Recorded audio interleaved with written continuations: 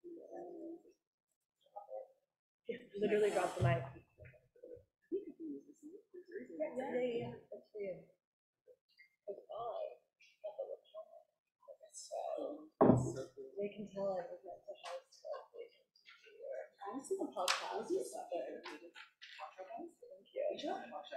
Listen, We you, really good at it. I unironically do say, oh my god, we should have a podcast, like, All once a month. every conversation I Yeah, have with people, yeah. we should have a We podcast. should have a Let's podcast. do a podcast. What would you like to know? Maybe you could On be what like- subject? A hidden person behind the scenes who every so often would say a funny thing. Oh yeah, you're like, that's a No nice one name. sees you. Disembodied funny voice. Yeah.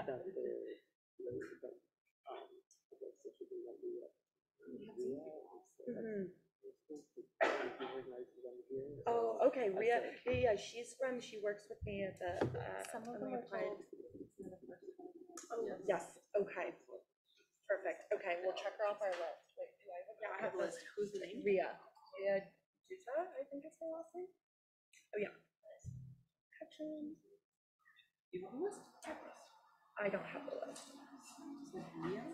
Ria, R, R, R, R I Y. Once again, to the folks on Zoom, thanks so much for being there. We're just waiting uh, for a few more people to arrive, I think, and uh, as soon as we get the signal that we can get going, we'll get started. We appreciate your time. Thanks for being here. Nice to see some familiar names and faces in the Zoom.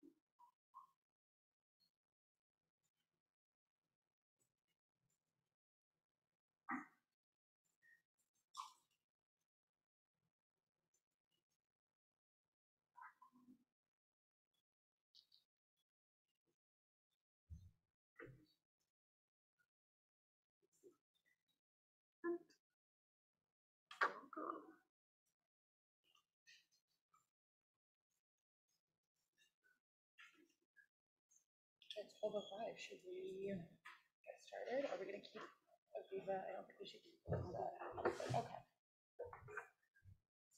You can ask, um, my friend can pass on something if you want. Yeah, yeah, that'd be great. Ren? you can hear me?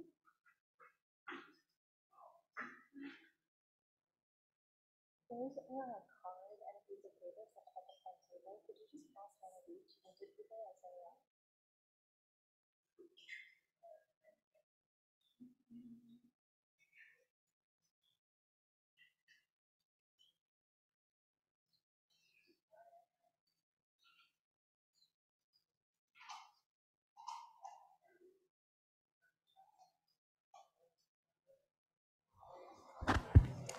Maybe while we're waiting to get going, I'll just um, quickly say to the folks who are in the space here with us in person, we do have a photographer here with us today from University Communications Services.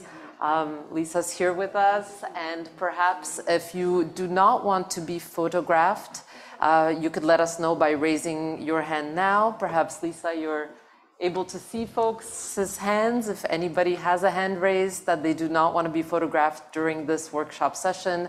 Just let us know, or you could speak to Lisa directly, who you'll see in the space with a nice camera. Thank you.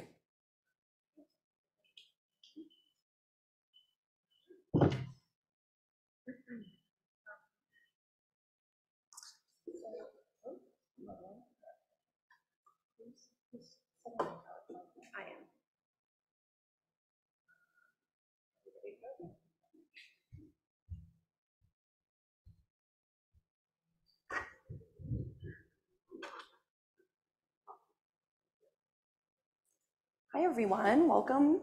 Thank you for being here. We're going to get started. Um, I'm Saskia Kowalchuk. This is Lindsay Rodgers, who's going to take us off with, uh, with our workshop today.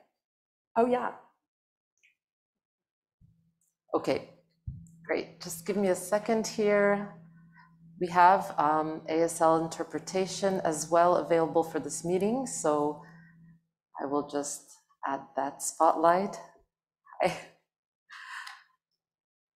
All right, well, officially, bonjour tout le monde et bienvenue. Welcome online and in person to Concordia University's fourth space. Thank you so much for joining us for Affecting Machines, Mapping Women's Contributions to AI. I will be passing the floor to our colleague in the Applied AI Institute and the Affecting Machines workshop organizers in just a minute. Uh, but first, we'd like to let you know that we are streaming to YouTube Live from Fourth Space, which is located on unceded Indigenous lands here in Tiohtià:ke, Montreal. And we'd like to extend our gratitude to the Kanien'kehá:ka Nation, who are the caretakers for the lands and waters on which we are meeting, for their teachings about the earth and our relations. Fourth Space is Concordia's knowledge mobilization public space. We work with faculty, students, and staff to activate ongoing research projects and initiatives with the goal of co-creating knowledge and building community. And we do so by producing these daily hybrid events that are free and open to all. So once again, welcome online and in person. We're so glad that you could join us. And with that, I'll pass the floor to Lindsay Rodgers. Welcome, Lindsay. Hello, everyone, and welcome. Thank you for coming. So this is the first event that um, Affecting Machines is putting on. Affecting Machines is a working group um, that is affiliated with the Applied AI Institute. Uh, in earlier in the spring, the institute was awarded um, a research grant to think through how to respond to gender equity in computing and AI. Um, the proposed research plan enacted a community-based action research. So we worked closely with uh, a team of researchers, some of whom are here, and uh, community representatives to establish uh, various trajectories for how the research would proceed. Um, there are multiple projects that we're working on. Uh, one is for an upcoming workshop on August 22nd, which you're also welcome to attend, which will look over a set of normative principles and research guidelines to ensure that AI research is more um, socially responsive and equitable. This Today, we're going to launch a set of, of trading cards that will be discussed. We are also working on um, guidelines connected to recruiting and uh, more inclusive recruitment and onboarding practices. So before we begin, begin, I also just want to take a moment to thank all of the community consultants with whom we've worked uh, from the early stages, brainstorming how this uh, project would proceed and offering feedback every step of the way. So they've been an important part. So thanks very much. Uh, I know some of you are here today. Um, and with that, I'll invite Rachel to start introducing um, the workshop that we're here for today. Hello. Can everyone hear me okay? Yeah. Hello, everyone. Uh, welcome, welcome, welcome. Am I, is the mic working? Uh, hi there. Sorry, just for the interpreter on Zoom, I'm not able to hear the speaker very clearly. Uh, they're quite low. Yeah, the mic is, could you pass me that mic? Yeah.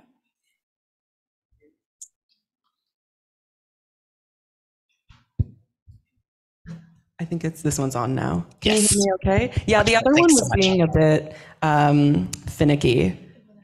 It wasn't yet. It was going on and off, but now we're good. I have a mic. This one was just going on and off weirdly, but we're good. Hello, welcome. I'm Rachel. I'll be telling you a little bit more about uh, the trading card deck that we prepared today, uh, what the project is all about. So. Uh, women, girls, and gender diverse people tend to self select out of STEM, especially uh, the subfield of related to computer sciences during their education, uh, even when they excel in subjects that would direct them towards those paths. And so, addressing this issue, our project focuses on materials that open up conceptions of what and who are involved in AI related fields, uh, particularly the computer sciences, helping underrepresented uh, students imagine themselves as capable contributing forces within this space. Uh, so, in response to these gender equity issues, we've developed a set of 20 role model trading cards, which we'll be working with today. Each card features a figure that has made major contributions and interventions in AI related fields. In the wide body, oop, there's my tag. I'm very uh, flaily. All right. In the wide body of social science research, Positive role models have been found to help young girls' identification with STEM fields and their belief that they have a future in the industry. At the same time, there is a lack of role models for them to look up to. But what exactly makes a role model? What makes a person inspiring? By showcasing these figures, we don't just want to create new high pressure ideals. We want to provide examples that inspire them to be more themselves, that show them what's possible and what can be achieved uh, in being themselves. And importantly, we want to highlight a range of skills, work, perspectives, and paths. We want to highlight how computer sciences have been built on and continue to require things like problem solving, critical thinking, social awareness, and teamwork, and how people, there's my name tag, and how people who think differently uh, or come from different backgrounds have and continue to shape and disrupt the field in and beyond our Canadian context. We might have this narrow idea of what makes a programmer and what that work involves. We might imagine a solitary, logic brain, cisgender man working with technology in a detached way, with lines of code and lexicons of jargon bolstering their expert position. But these conceptions are both limited and limiting. They restrict what we think is possible and how we might imagine ourselves fitting in. And they're not even all that accurate in depicting what it takes to be a skilled coder or data scientist, for example. But for, say, a high school or CEGEP student, that imaginary has a powerful directing force. Seeing yourself represented, having a role model to look towards, um, opens things up. And so intervening at this early entry point, uh, entry point into STEM is fundamental because we need different thinkers, perspectives, and approaches shaping the technologies that are simultaneously shaping the worlds in which we live. Of course, there are barriers and biases that underrepresented and underserved peoples face when they make their way through these masculinized fields, and these can't be overlooked. But we're developing this card deck as a starting point, an early intervention, and a necessarily partial, incomplete component of a multifaceted, ongoing solution.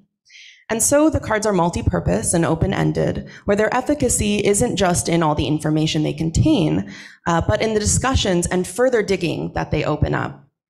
Originally, we've imagined these cards as pedagogical materials uh, given to teachers and used in classrooms from elementary school to high school, and even in higher education settings as well.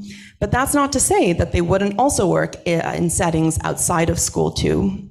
We've imagined using the cards in Guess Who games, games involving collaborative storytelling and team building, ordering and sorting games, We've imagined students looking for more information on the figure featured in their favorite card, maybe coming across an article the figure wrote or a short video explainer about them. We've imagined all these potentials in consulting our community partners and our broader, broader research team. And now in this workshop, we're expanding the project out to the broader community. In the next couple of hours, we'll be testing out, playing with, and discussing the cards together. Saskia will now take us through a more detailed overview of what you can expect from this workshop. Wonderful. Thank you, Rachel. I got my, Oh, got I got my mic. lapel mic. Wow. Okay, great. So, hi, everyone. Thank you so much for being here. Um, Thank you, Rachel. Um, So this is Rachel, this is Aviva, and I'm Saskia. We're the team behind, um, uh, that developed the cards that we're going to be playing with today. Um, And yeah, as Rachel mentioned, I'm just going to take you through what you can expect from our workshop today. So you've heard from us in terms of our introductions, um, contextualizing the project and the cards. Um, and now that you've heard all about the cards, um, the next thing we're going to do is uh, get to know the cards themselves and one another.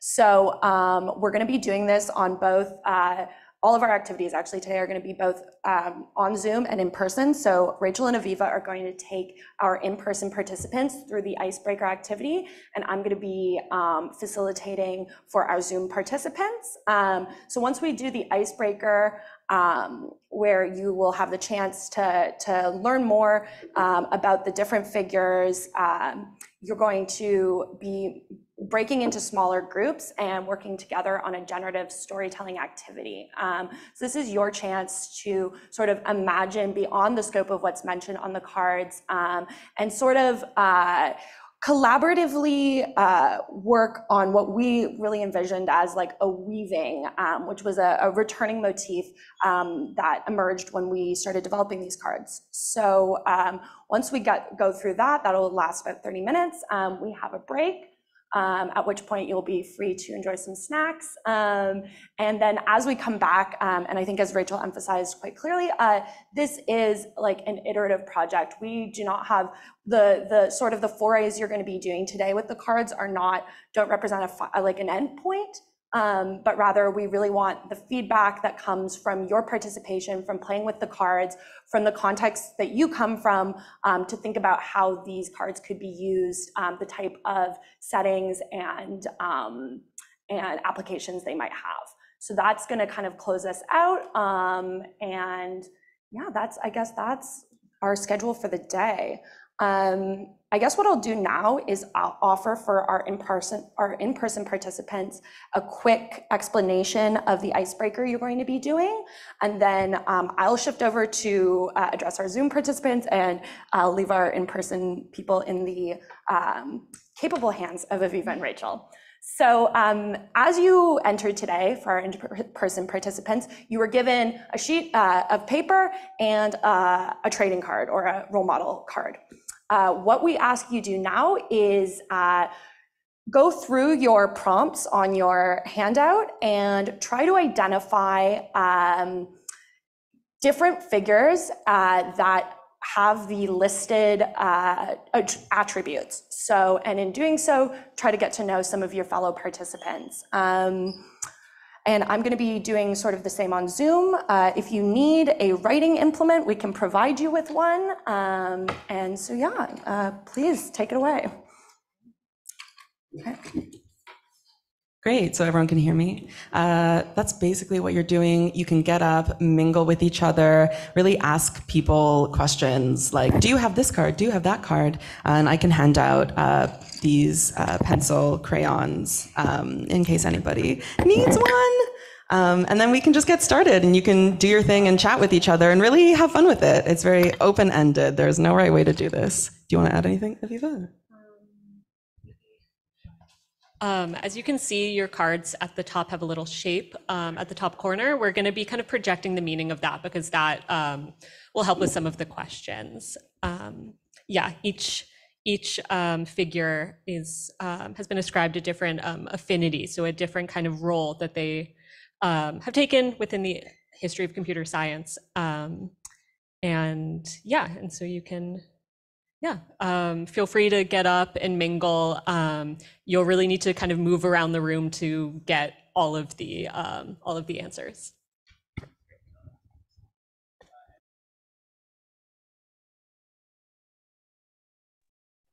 Okay, so for the Zoom participants, yeah. Okay, so hi everyone. Sorry, I just hear myself in the room. Is it off or?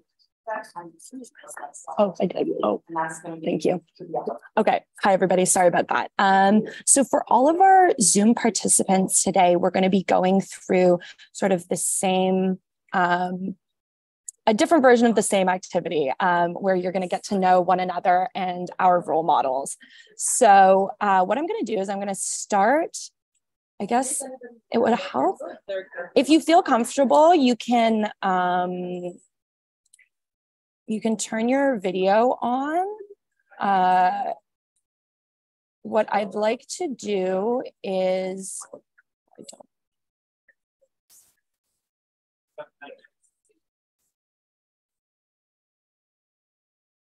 I'm so sorry. Hold on just a moment.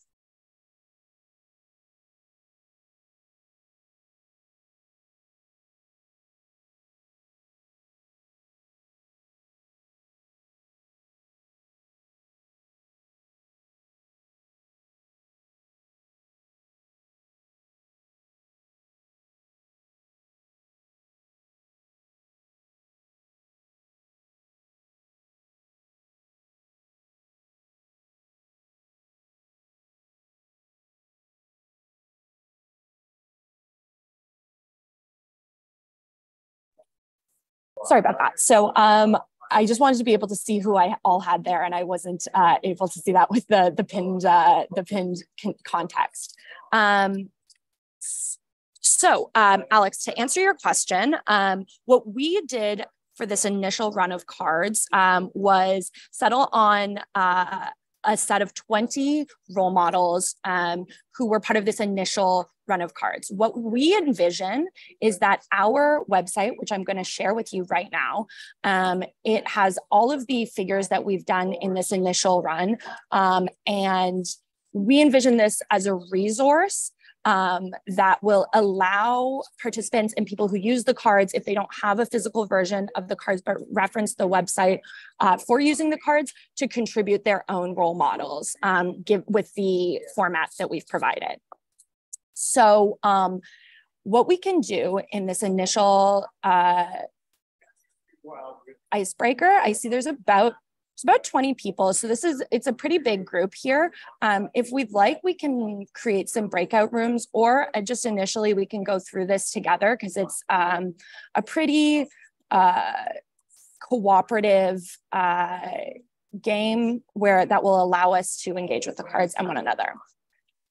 So I'm providing you with a link right here, um, the Google Docs link, um, where you should all be able to edit uh, the, see and edit the document.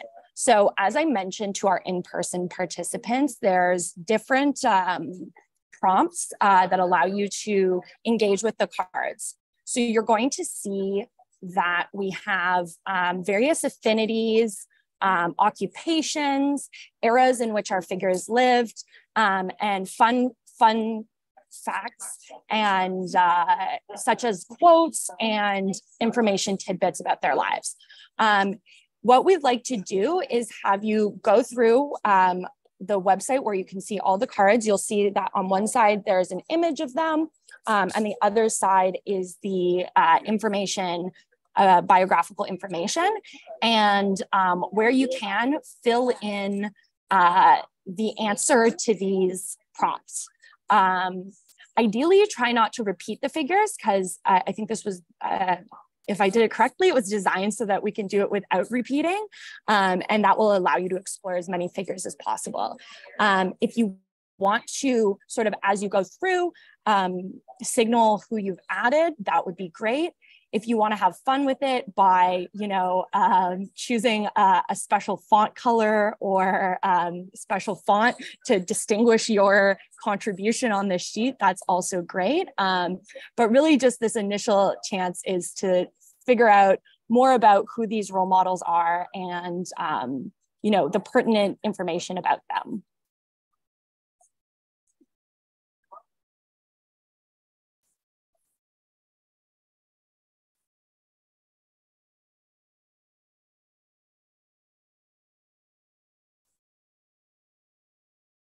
And if you're having, um, if you're interested in like a breakdown of what the affinities mean, I know I, I didn't sort of explain that super robustly. We have um, an index at the top of the, the card deck um, on the site here. And so you can see we sort of conceptualized our figures in five broad categories based on the type of contributions they made um, to the field. Um, and so those are our five categories. They're the pioneers, entrepreneurs, makers, disruptors, and thinkers.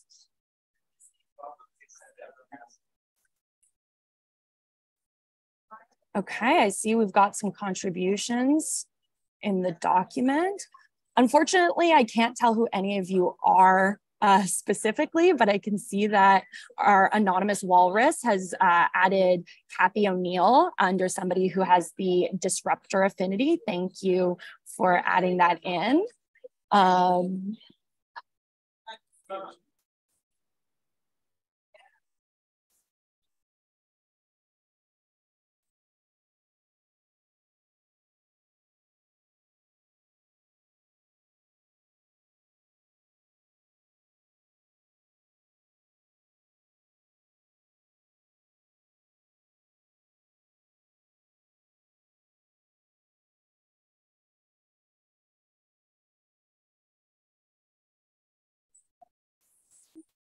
So I see Tristan and Juliet, you have your cameras on, so maybe I'm gonna I'm gonna put you guys on the spot but um, have you have you found anyone who are, are you working on a specific question?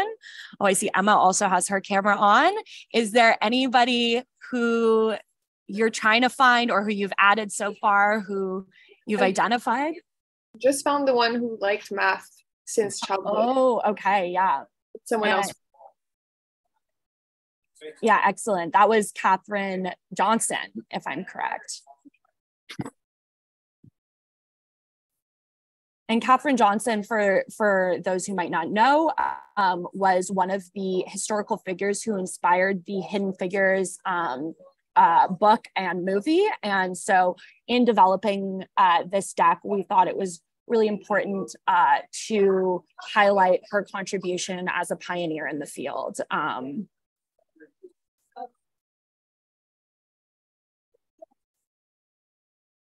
it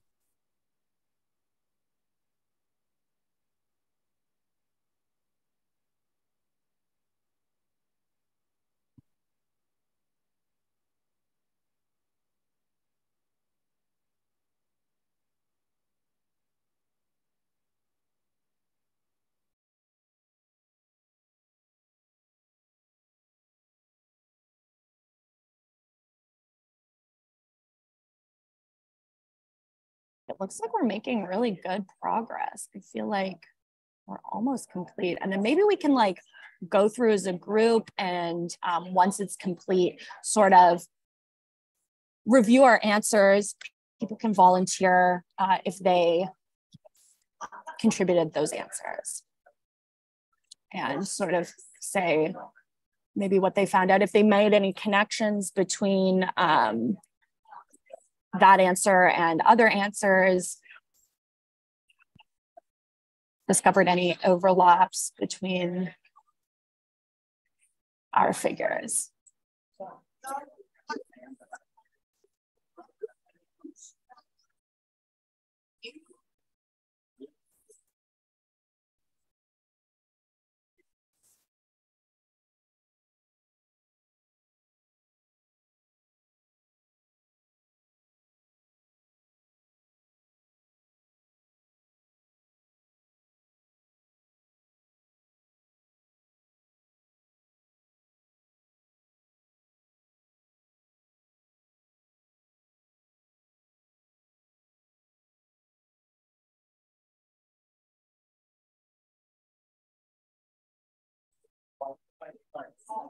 Okay, I think it's turning into a race to find somebody who lived during the 1990s. Oh,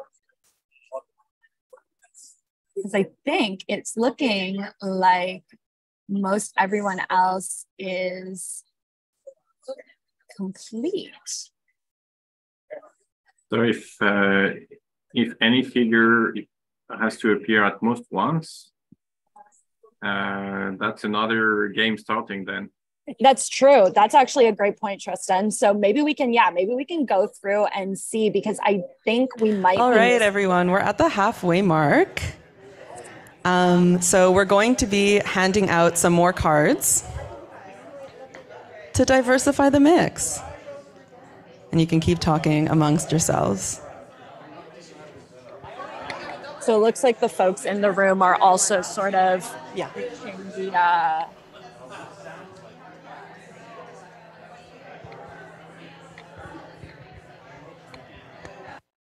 Thank you. It looks like they are also reaching uh, sort of the the limit of how many people they've found. So it looks like we're we have lots of answers here. Yeah, we got to see if there's somebody who doesn't appear. That's kind of a hard way to, it's kind of hard to reverse engineer that, but I'm noticing some new, yep, some new contributions to who is a mathematician.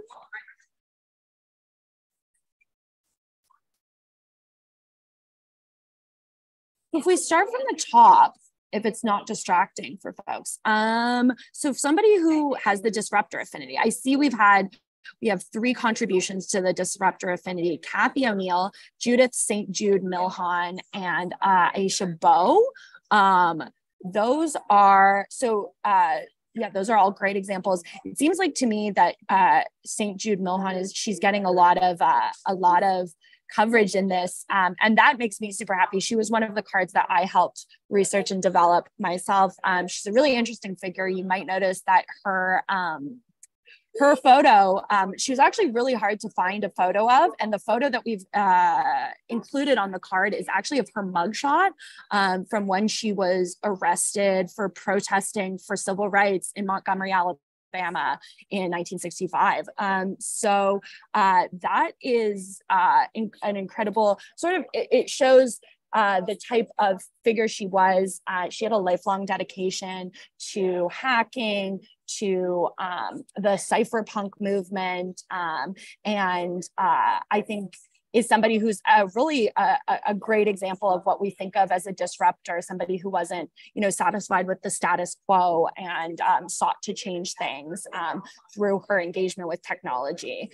Um, and I think we double up because with her, because one of her famous quotes that we've included here, which I loved and was was I think really a central um, uh, like essentially highlighted in one of the obituaries I read of, of her was that her rallying cry was that girls need modems, um, which is uh, which I love.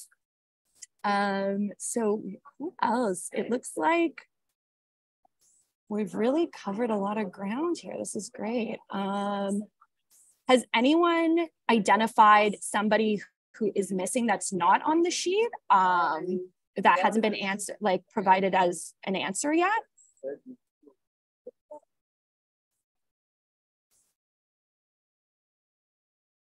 Go on. throw it in there. No, it's either of these.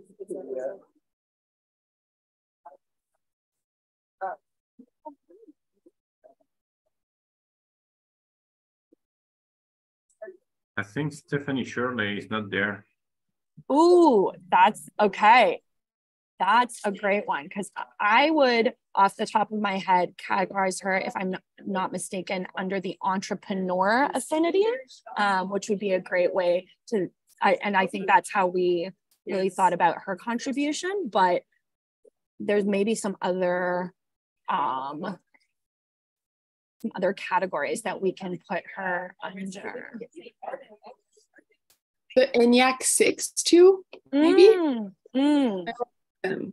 Yeah, I haven't seen them on there. Unless one of them was there under their name.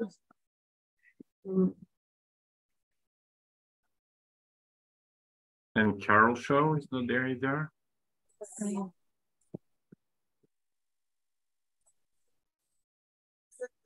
Carol Shaw, yeah, that's true. Yeah, Carol Shaw was she was um, a really interesting contribution. So I should also say, like, as part of this project, the um the the trading cards like our vision for the the finished website um, where your the cards are going to be one aspect of the resources available is understanding these figures on a um, on a timeline. Um, and so uh, and sort of contextualizing these contributions providing more you know information. And on that timeline carol shaw is a really uh, interesting figure in that she was really one of the earliest um, uh, co- contributors female contributors to video game design. Um, in this sort of evolution of of, con- of like contributions to computing, um, she played a really interesting role in this trajectory. And I think we're going to do our best to highlight that sort of that, which is implied. This type of this evolution and timeline is implied by these cards, but I don't think it's necessarily as clear. Um, and so we're really uh, excited about providing that more contextualized resource with the the finalized website.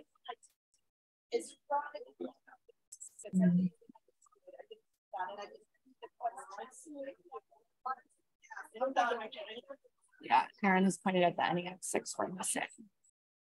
So I think they can be categorized under computer programmers. Yeah. Okay, good.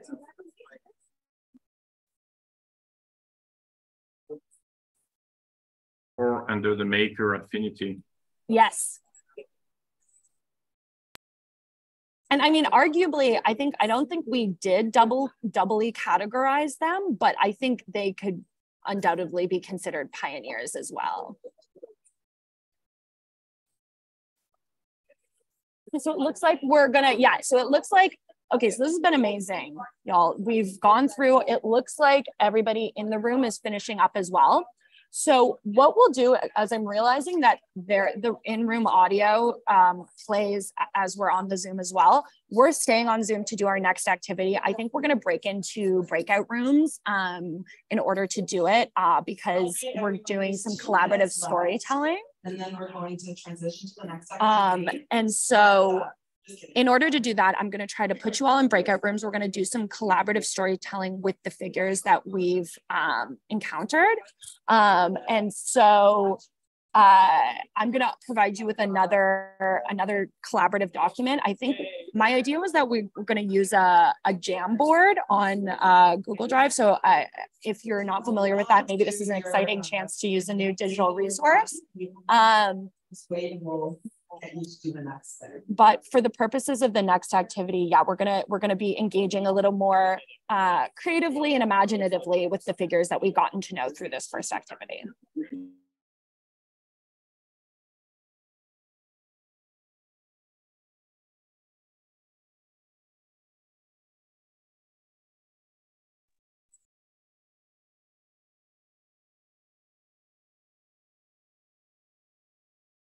So yeah, um, what I'm going to do now is I'm going to explain while we're all together um, how the activity, the storytelling activity will run, because I believe they're going to start explaining it in the in the in person here in just a moment. So I'm going to actually go ahead and share my. I'm supposed to stop other screen sharing. Oh, I don't want to stop other screen sharing. So um, I'm going to provide everyone again with a, a, document you can view and uh, and contribute to. So the generative storytelling activity was sort of um, emerged as an idea from one of our community partners during the development of uh, our workshop. Um, and okay, I'm gonna also bring this up on my screen so that I can see what everyone else is seeing. Um, and uh, it was suggested that this could be a really fun way to creatively uh, interact with the cards and with our figures. So this is this game is known um, by a few names. In one case, uh, uh, Exquisite Corpse, which was named by the Surrealists, the French Surrealist movement, um, but is also uh, a parlor game known as Consequences, in which um, players take turns contributing um, portions to a story that we write together. Um, and so I've provided an outline here um, and what we're going to do is in in breakout rooms, we're going to select two, well, it's going to be the, the turn of whoever to select a role model and we're uh, two role models and we're going to collaboratively write a story about them. So we practiced this with our, um, our team yesterday. And so this is a great example of how the, uh, how the, uh, story turned out. And you can see we sort of color coded everyone's contribution and you can see how this, uh, this ended up. So what we'll do is, um, so I'll, I'll, read it through actually, because so uh, I think Lindsay started us off yesterday and she picked the adjective persnickety. Um, and so we said persnickety Anita Borg met lucky St. Jude Milhon at the International Space Station to have a little Sanka set. Um, so Anita Borg said, uh, maybe the new Anita Borg Institute headquarters should be at the International Space St Station. And St. Jude Milhon said, yeah, that would be great. We could see all the corruption back on Earth from here. Hey, by the way, could you cover my space bail? Uh, Anita Borg opened her suitcase of money labeled break in case of feminist emergency to cover St. Jude's bail. St. Jude threw on her Ray-Ban Wayfarers and lit up a cigarette. And thus, the International Space Station became the new Anita Borg Institute headquarters with St. Jude Milhon as chief operating officer, always with sunglasses on. And the world gave a thundering round of applause. So this was a rather, you know, playful and a little bit silly engagement with these prompts. Um, but uh, based on what we learned together, uh, we can go through and try to um, take turns adding uh, contributions to these stories. So what I'll do um, is um, I'll place everyone in breakout rooms. Um, we're gonna try to get even numbers of each. And then from there, I can add you to your respective Jamboards and um, hopefully with amongst yourselves, I can assist you, but amongst yourselves, take turns uh, at answering each one of the prompts, um, and then we can sort of see what sort of story we write together. So give me just a moment, and I'm gonna try to place everybody in um, even uh, even breakout rooms.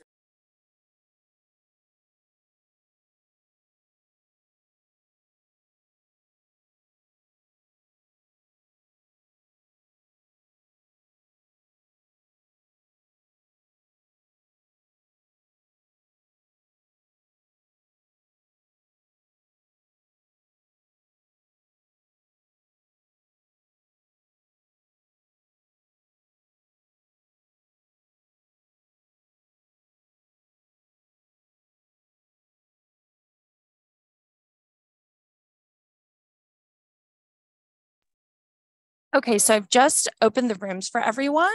Um, and if you could, by direct message, uh, indicate to me if anyone requires um, ASL interpretation, um, and I can ensure that our interpreter joins your room in order to do that for you.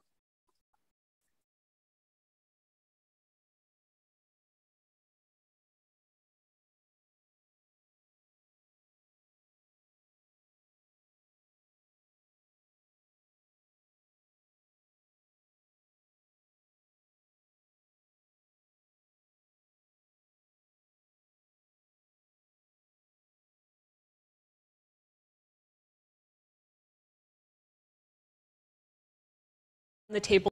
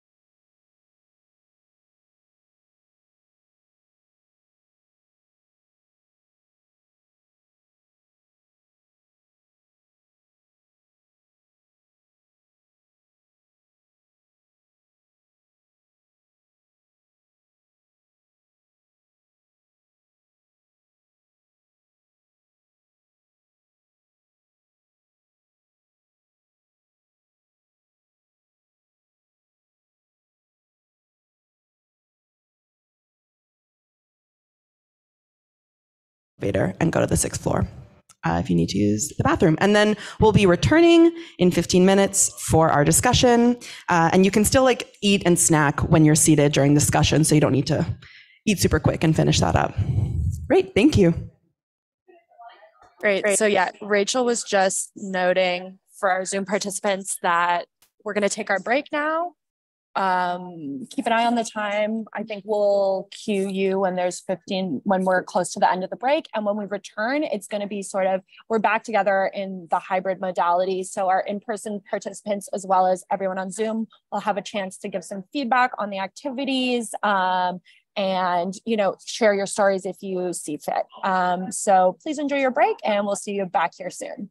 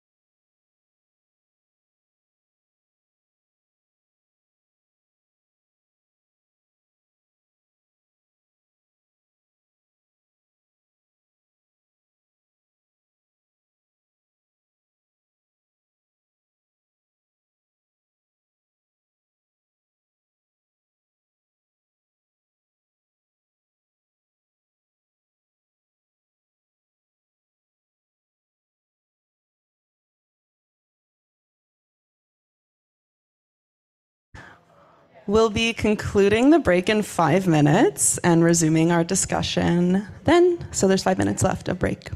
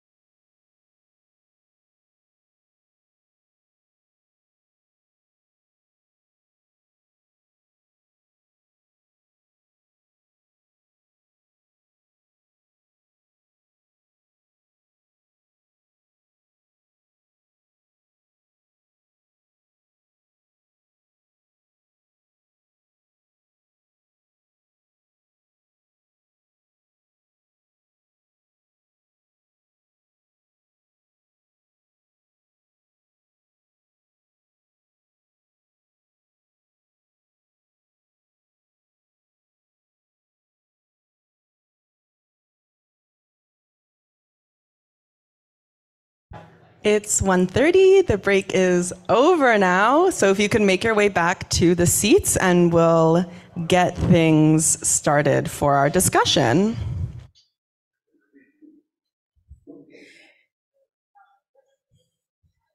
And we'll be starting with our discussion momentarily in the next couple of minutes.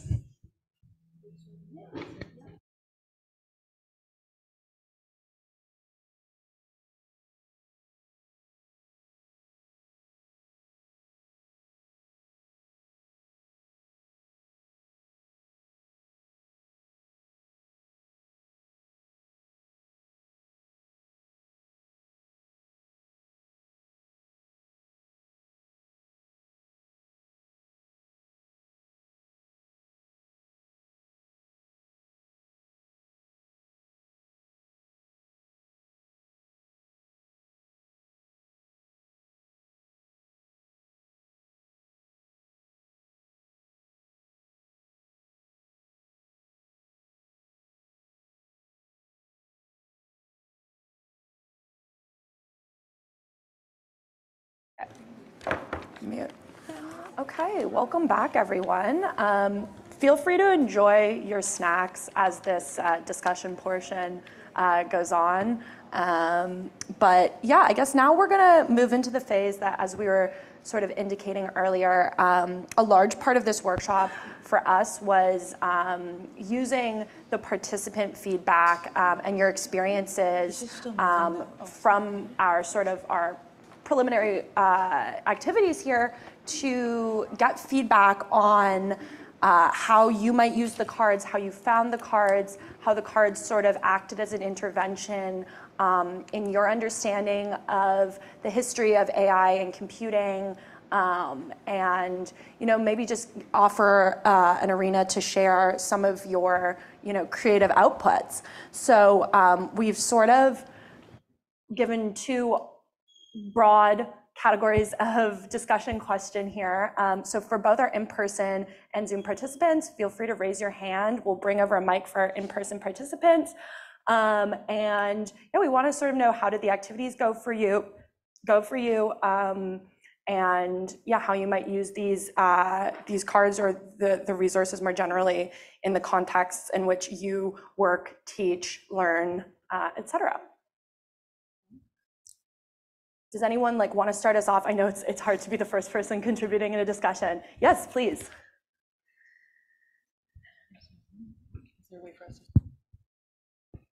Hi, I'm uh, Olivier from the library. I, I was I'd like to riff off a conversation I overheard in the in the queue for the food. Uh, maybe figures I'd like to see added to the deck would be um, women who've created uh, stories that employ technology. So we have a lot of scientists, a lot of the, you know, so um, I'm thinking of, you know, science, science fiction writers, movie directors, works of the imagination that allows us to understand the prospects and futures of AI. Thank you. Yeah, thank you so much because that was something that I think in we talked about imaginaries at the beginning and um, for us like like as sensitizing concepts or as as ways that young people understand um, this field i think sci-fi and um, speculative fiction are so so important. And there's such a, uh, an amazing body of, of feminist um, literature um, on the on these type of in these type of genres. I, I couldn't agree more. Yeah. Um, i saw another hand over here. Uh, I already gave a, a list of uh, figures that I, I felt should be added to the deck. But I think the most important thing is how these, uh, these cards can be used to stimulate um, opinions and activities. And one way would, would certainly be to, to make some sort of board game, a board game where uh, people could advance in their career by choosing the right cards. If they collect the right set of attributes, they would have certain advantages, and then they would be able to discuss the projects. This is how it's stimulative to discuss uh, projects in artificial uh, intelligence and scientific computing that they would, uh, how do you say, want to realize in the future.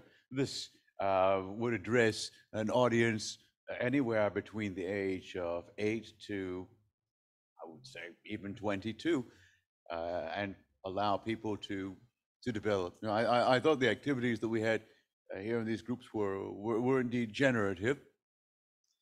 And uh, yes, uh, did I uh, did I, did I take some of these interventions into into my own hands? Well, yes, I, I actually created my own storyline while while we were exchanging. I, I want to multitask, so while we were uh, exchanging our personal experiences, I actually uh, created my own narrative.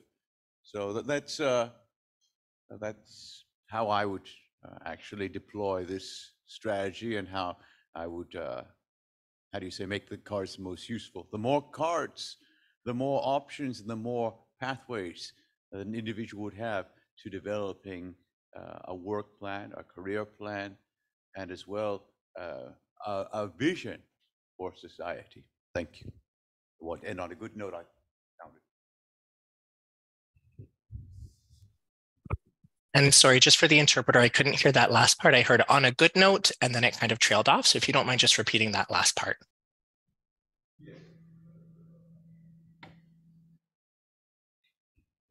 I, I said that it would be important to be able to have as many cards as possible so that uh, students and aspiring individuals would be able to trace uh, their own career paths, their own, uh, how do you say, intellectual paths, as well as modeling uh, the ideal vision for society. I, I thought that that was how I was going to end on a good note. Apparently, uh, it backfired. Thank you. But you redeemed yourself. You said it again just as eloquently. Thank you so much. Um, yeah, the just when you speak into the mic, it's good to speak into the mic so that the people on Zoom and the interpreter can hear as well. Um, yeah, thank you so much. I we're wondering how did the activities go? How was it working with your teams? I overheard uh, a, one of the tables calling themselves Team Yellow. Um, what were the kinds of things that came up when you were doing uh, the activity? How was it? Hello there. Uh, hello from Team Yellow. Um, my name is Bettina Forger. I'm a, a grad student here in art education with an interest in STEAM. So this was we had. I think we just had a really great group. Um, I think the icebreaker was already fantastic to get us all looking at the cards as well and getting to know each other and the cards. So when we got to the table, we were already primed to be creative together.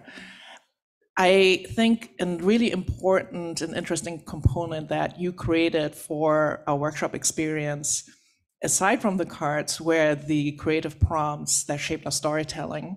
Because giving people a bunch of cards and say, make a story with this, uh, it doesn't work. You need an enabling constraint, which you did nicely. We kind of veered off the steps a little bit because we had kind of movie ideas. I, as we were all brainstorming together, when one person got stuck with what are they going to do next, somebody else came up with a genius idea. And it's just so delightful to see other people be brilliant at the table. And I think it felt for me a bit like a writer's room in Hollywood, and we're so figuring out the next blockbuster movie with two amazing heroines at the helm of the story. Uh, I come from art ed, so I'm already seeing uh, storylines being plotted out and storyboards being drawn, and we can make this into an AI animation afterwards. So there's a lot of potential, I think, using this card deck and a, a creative structure that runs parallel to it, which is how are we going to prompt people to use the cards? And what you've done, it's, it's very step by step. I think you can maybe try in next iterations to be a little looser and maybe go with like they're getting I love that dialogue where we really had to imagine what the women are like and put characters and words into their mouth. Um, i think we could focus more on that bit of exposition maybe give them an inciting incident in the story say it's a, now a bomb goes off what do they do?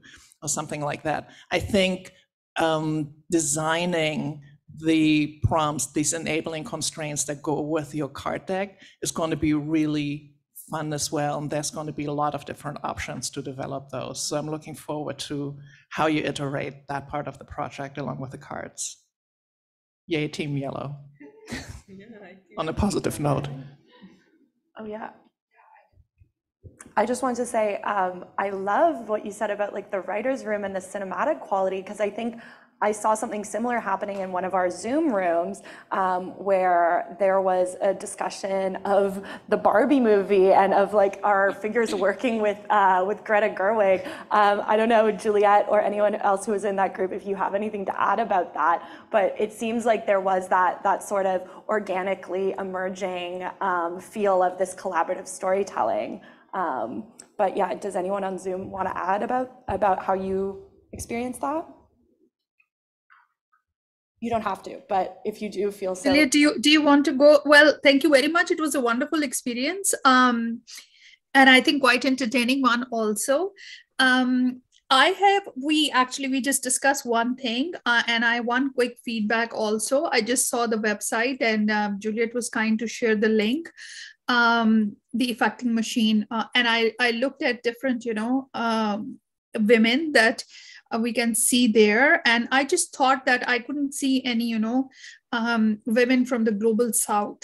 So I thought that why not to, you know, get someone from the global south and have uh, women of color. I see that there are some women of color there, but they are mostly uh, geographically located in um, the global north. Whereas we know that there are many women um, in tech who are working in the global south also. So i think this is one thing that our group was discussing that perhaps having this equal racial equity as well as along with gender equity is something that could be uh, integrated. One thing that our group actually discussed and we did is um, the outcome. You know the consequence is very interesting. Of course we wanted uh, uh, more films made on you know women in tech.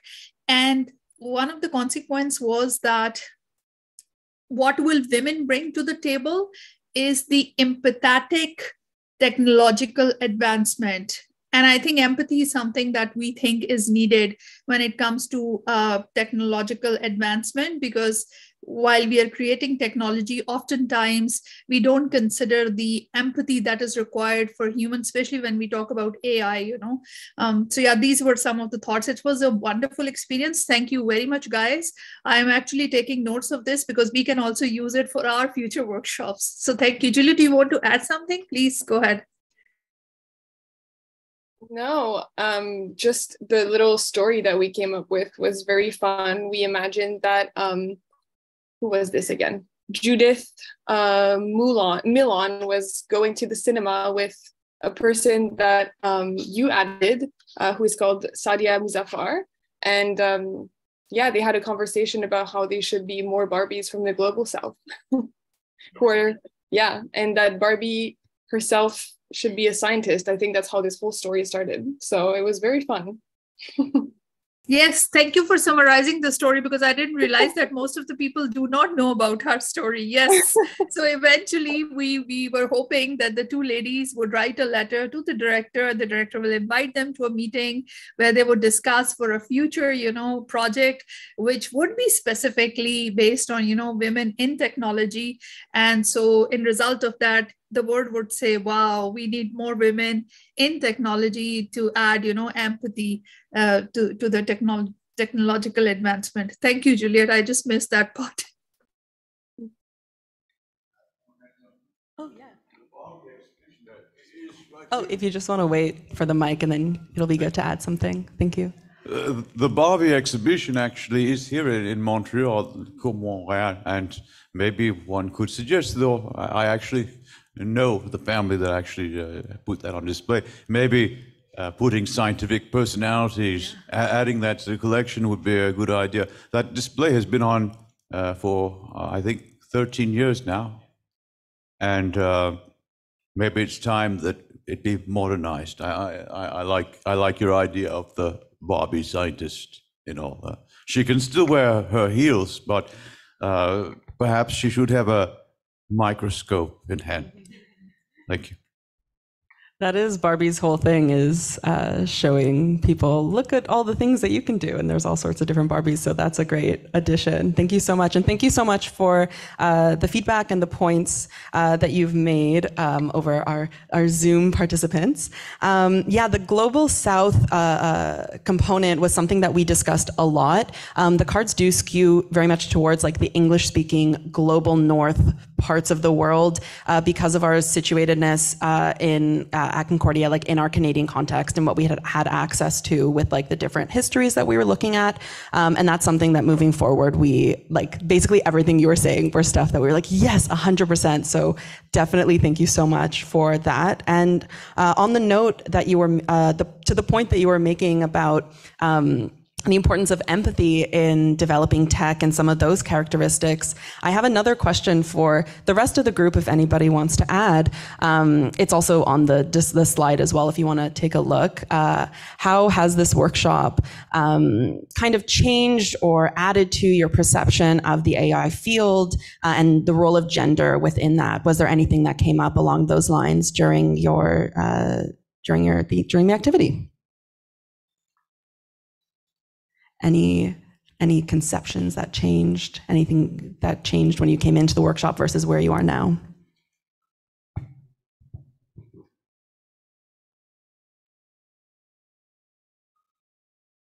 Okay. that's okay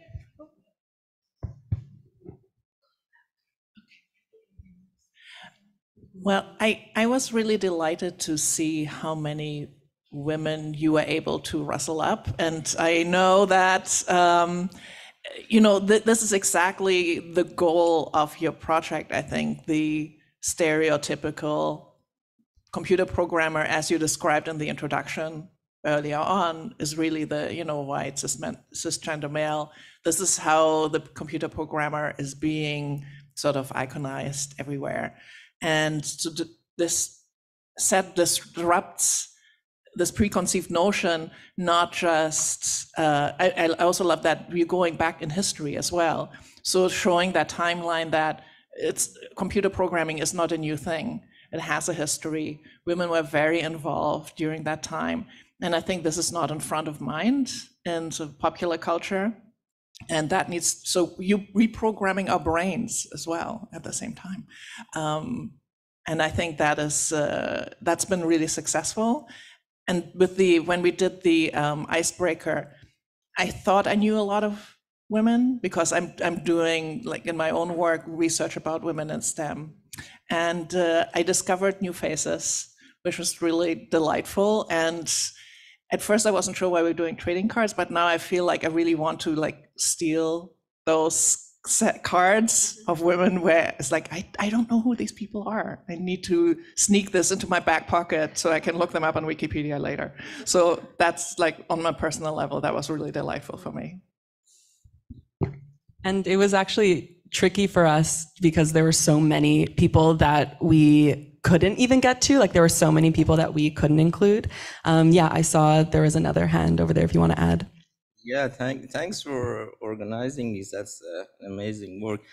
Uh, yeah, I learned something, and uh, that thing is that the one that coined the term software engineer was a woman. So I didn't know that, and thanks for educating me.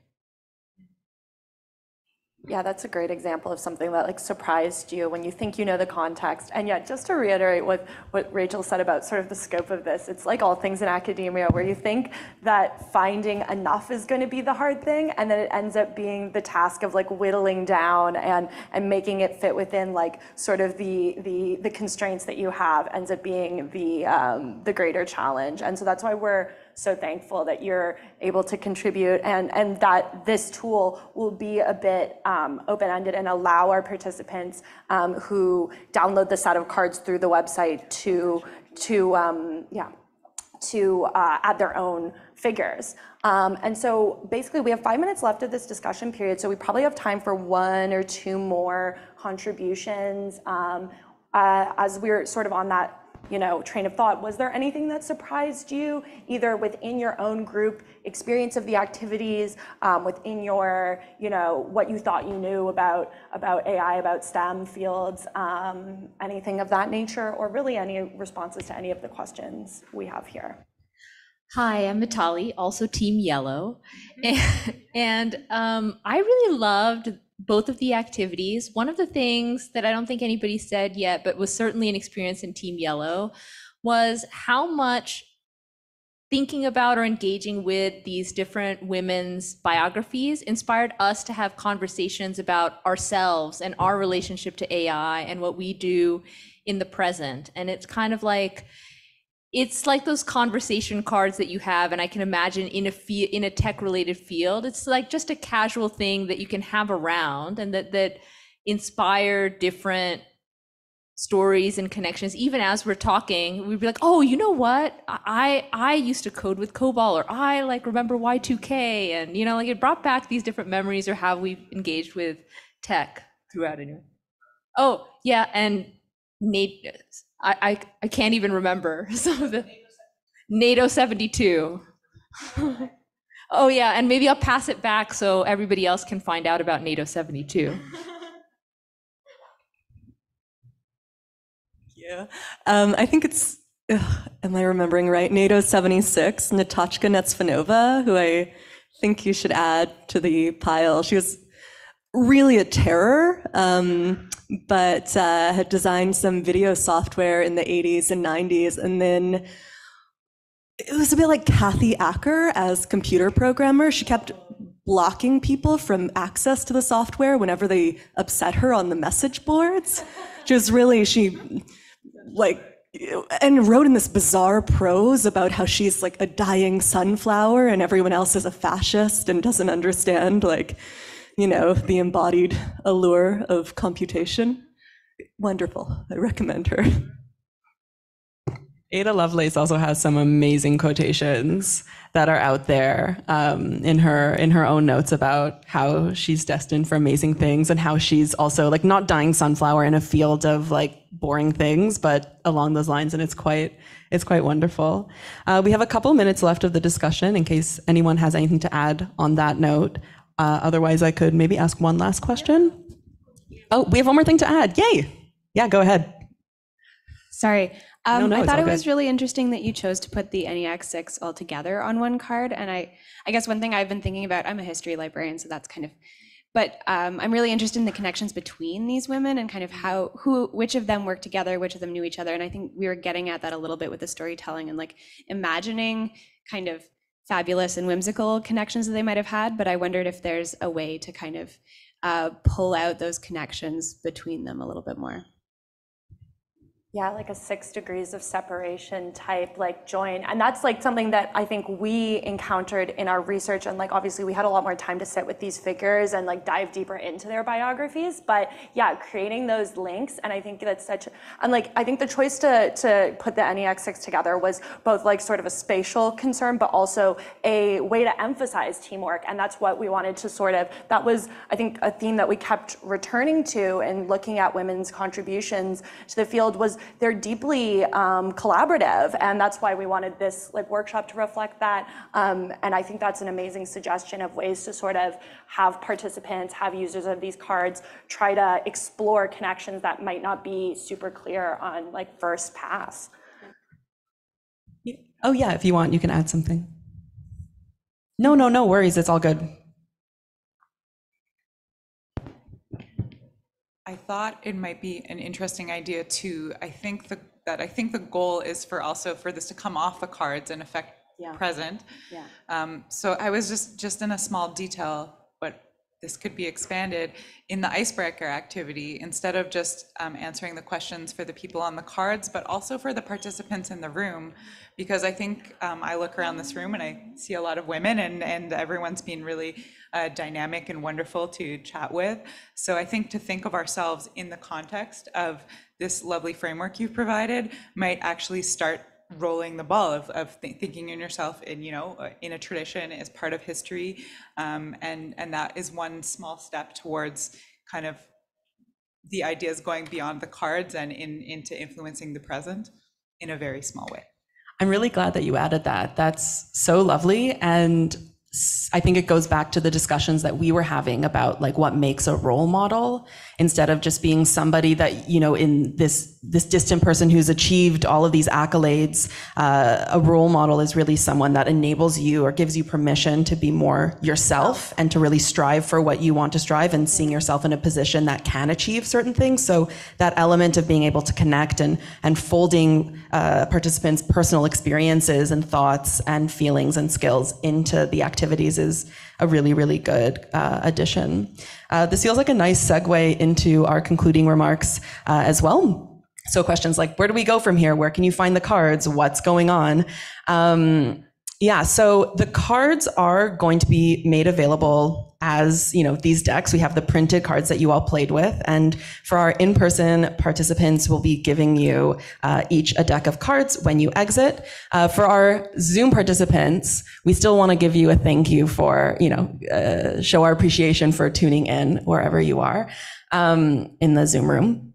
And so, um, if you uh, flag Lindsay, you can shoot her uh, an email, um, and you guys can coordinate a pickup for the cards at our office um, on one of the buildings in Concordia, on the Concordia campus. So you can email Lindsay and coordinate that pickup uh, so that you can get a deck of cards as well. Um, so we have the deck of cards. We also will be having a PDF um, of the cards on our website uh, so that people can download them for themselves and do a little DIY card deck. Part of this PDF uh, is all of the 20 role models that we featured, uh, the index card, and also a blank card template so that people can uh, add their own figures that they would like. And when you print this out, you can create your own deck in that way. And the cards are also going to be embedded on our website too in this like flip format. I understand for the Zoom participants, you were able to engage with that a bit. Um, and so, yeah, you can play with that in that way. Uh, and then connecting with the ENIAC 6, for example, um, how are these people connected? How did they find each other? I could answer this right now. I'll tell you later.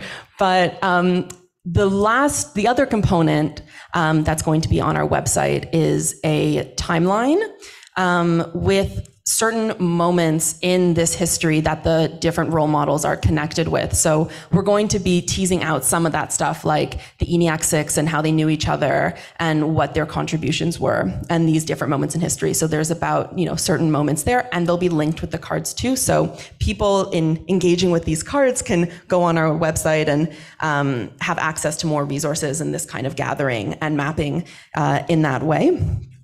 Um, and also, thank you so much for all of your contributions. This was a really, really valuable uh, to see how the cards can be played out. We spent time, you know, developing them, so it's great to have you actually working with them. Um, and we're going to be factoring in some of uh, the feedback that you gave, the comments, your experiences. We'll be incorporating that into the output that that we deliver at the end of the month um, uh, and giving some examples of how people can use the cards and so on. Um, and then going from there, hopefully, you know, we'll be able to continue this in this more iterative way, adding things to the cards um, to and on our on our website. Um, and yeah, so this is really not this final concrete thing, but an ongoing thing. Um, and we're going to be sending out a survey. So in case, you know, on your way home or tomorrow or whatever, if you think of something that you wanted to say or if you weren't comfortable sharing with the group and you still want to share some feedback or some comments with us, um, you can include that in the survey that we'll be sending out um, through Fourth Space, I believe.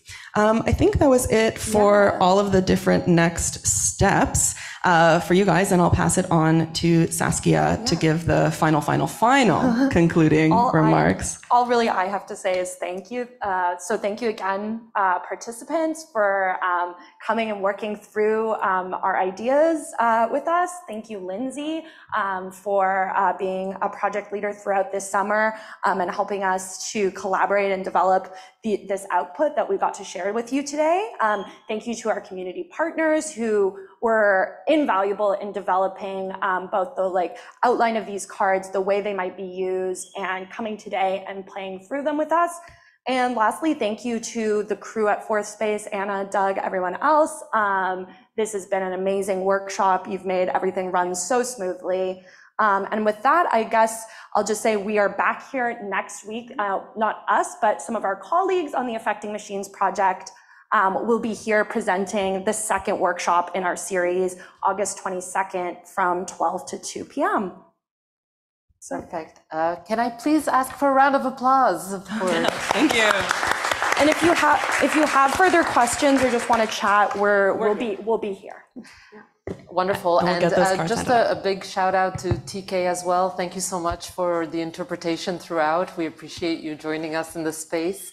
Um, to all of you who have joined us in person or online, I'm reminding you that we live stream this event. So if you want to revisit any bit of the conversation, it's on Concordia University's Fourth Space YouTube channel. Please have a gander there or share with friends. Uh, we'll be closing up the Zoom space now. And once again, congratulations to the organizers for making this such an enjoyable afternoon for us all. Thanks, everyone. Have a great afternoon. Bye. I'm gonna hand out your They're here.